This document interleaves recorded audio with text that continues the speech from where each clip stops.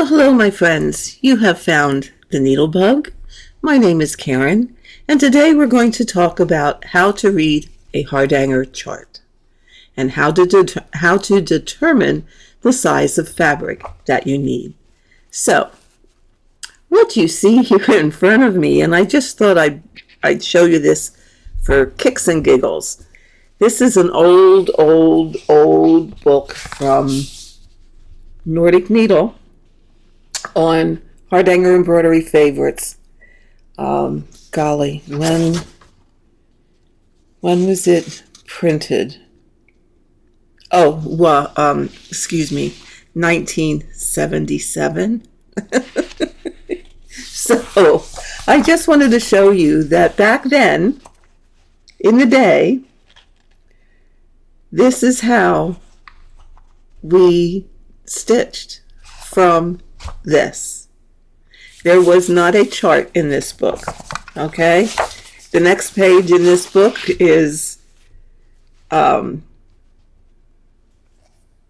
just suggestions telling you, okay, you needed a seven inch, seven inches framed, and you work how to work it, and that was it because the next page went on to the next design. So what we did back then was we actually stitched from these pictures. Okay? So I just thought you'd enjoy that little tidbit of information. Today, however, we get graphs. And we get, well, graphs, charts. We get them um, given to us in one of two ways. So let's look at this one first. All right. This one is where one square of the fabric equals one fabric thread and you I need a pointer here. Sorry for my reach. You um, can see from this that here we go that you're doing five, one, two, three, four, five satin stitches over one, two, three, four threads of fabric. So these graphs are very easy to read in the fact that what you see here on the graph is what you're going to see on your fabric. You know, this is a double cable stitch, more satin stitches to make your star. Okay, so this is how a lot of graphs come today. Pretty easy to read. The only thing with this type of graph is if it's a small chart, you know, if it's an ornament or a relatively small doily, this is fine because it doesn't take up a whole lot of space or a whole lot of paper to chart it out. However, your bigger pieces are going to take up more space on your paper. And here, for example, is how things are charted pretty frequently these days. And you have to understand the fact or keep in mind the fact that each square on here is two fabric threads, not just one, but two fabric threads. So it still gives us the same information five stitches over four threads of fabric. It's charted this way to shrink it up a bit so that you don't have pages upon pages upon pages of a pattern to filter through to stitch your piece. Okay, so this is probably what you're going to see most often on a larger um, pattern, if it's a runner or if it's a larger picture. You may see this more often. So those basically are the two kinds of graphs you're going to see, where it's each square is two fabric threads or each square is one fabric thread and the chart is going to tell you that. So be sure to read the little notes with the chart so that you know what you're um, what you're dealing with. Okay? Now, just to give you an example, and this is from Janice Love's book, she has a little key because she tends to chart this way. Okay? So she has a key to show you that this equals this stitched. This equals this stitched. Okay, so this is in the back of her Hardanger Basics and Beyond book, of which, look at this, my poor book is so old, it is falling apart. So old. I can't tell you when I bought this. It was back in the back in the cave days. I thought maybe it had a date here in the beginning, but maybe oh look and here this is 1990 and she she even signed it. So I um I use it and I treasure it and it is as you can see well loved. So I need to tape the cover back together. But yeah back in 1990 is when I bought this. So those are the the types of graphs. Now you ask, how do I know how big a piece of fabric I need? So, um, the other thing is when you have the graph like this, you can adjust the size. Okay. So if you only want to do Okay, you have this diamond here. You have these ships here. But you don't want to do this up here. Let me um, zoom out a little bit more. There we go. That might be a little bit better. Okay, so I have this diamond here. I have these here. But I don't want all this up here. I'd rather just do the diamond. What you can do then is, I don't necessarily want to mark this up. Well, it doesn't matter. You can just mark these blocks to adjust it yourself. Okay? You can always adjust. You can change this in here. You can make this even longer. So if you want to um, double the size. Now this is probably going, yeah, I don't have the, I, I just have this part of it. If I remember right, this is probably about the center here. So you could adjust this and make it longer by making another photocopy, folding this here like this, take the next photocopy, butt it up, either butt it up against or overlap this block and continue on and continue making it longer as long as you wanted it. I mean, that's what I have one similar to this that was on my piano. And that's what I what I did with that. I just kept adding to it and making it longer until I got to the length that I wanted. Okay. So all that being said, how do we determine the size? Well, the easiest way is to count the number of blocks. Because we know, we know every cluster block is four fabric threads.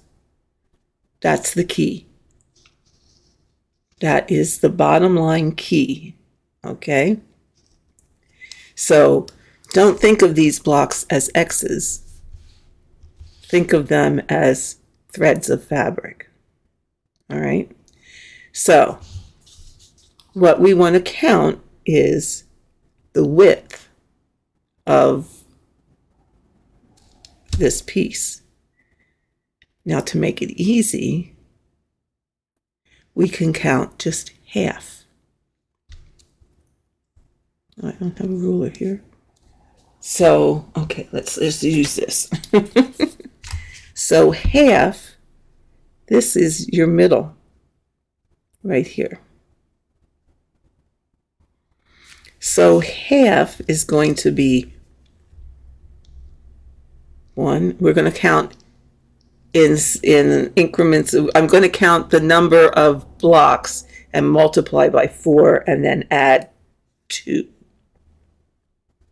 Okay, so we have to count the buttonhole stitch as one, two as the space, three, four, five, six, seven, eight, nine, ten, eleven, twelve, thirteen, fourteen, fifteen, sixteen, seventeen, eighteen, nineteen, and then add two more threads.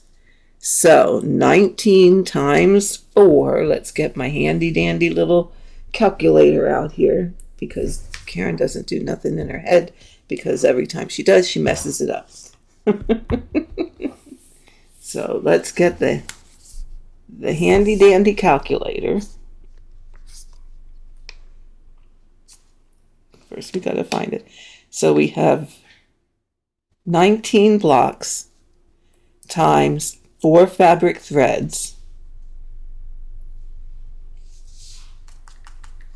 19 blocks times four fabric threads equals 76 fabric threads plus the two that make up the half plus two is 78 fabric threads and that's half of our design. So we're going to say 78 plus 78 is 156 fabric threads from here to here. Okay, so our widest point is 156 threads. We would do the same going this way. Okay, and let's just assume this would be half here just for counting purposes. So you would count from here to here times 4. And if you divide this block in half, plus 2, and then do the same thing, double the number that you get, that tells you how many threads you want from here to here. Okay. So we've multiplied by 4. That tells you the number of threads. Now you figure it the same way that you did for counted cross stitch. If your design was 156 threads, or just take 156 stitches in cross stitch, and you divided it by your count of fabric, you do the same thing here. You need 156 threads. What count fabric are you going to use? Let's just assume we're going to do it on the 22 count. Personally, folks, 22 count is not my choice of fabric to use for Hardanger embroidery. My own personal preference is to use one of the even weaves or linen. Okay, so Jobelan, Lugana, Linda, Davos, linen, and it can be any count that your little heart desires.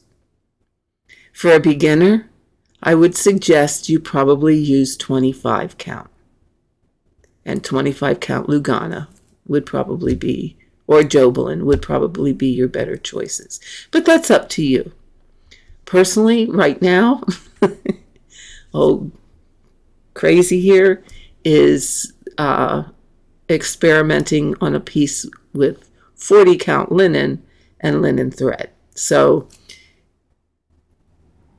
Hardanger fabric was only named that by the industry. In Norway, traditional Hardanger was always done on linen with linen thread. So I would suggest, again, my personal preference, stay away from the Hardanger fabric and pick a Jobelan, a Lugana, or one of those. it's going to give you a piece that you're going to be much happier. My, again, own personal opinion is 22 count fabric. You use five and eight pearl cotton, and it's very bulky and chunky looking. Hardanger is supposed to look like lace. So just keep that in mind. The choice is yours. I'm just telling you my preference. So back to this. We know now that from here to here, half our design is 156 stitches. So let's say we're going to do that on 25 count fabric. Let's just assume that. Okay, because we're not going to use Hardanger fabric. So we would take the 156, just like you do in cross stitch, and divide it by 25, which tells us our design from here to here is going to be 6.25 inches wide. So that is just your design area. You would do the same thing for the length. Okay. Now, with Hardanger,